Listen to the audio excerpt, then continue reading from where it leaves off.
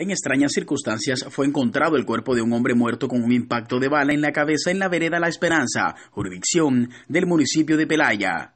Según el reporte de las autoridades indica que esta persona tenía un impacto de arma de fuego, situación que corroboraron ya que a dos metros de su cuerpo hallaron una vainilla, al parecer, de revólver calibre 38.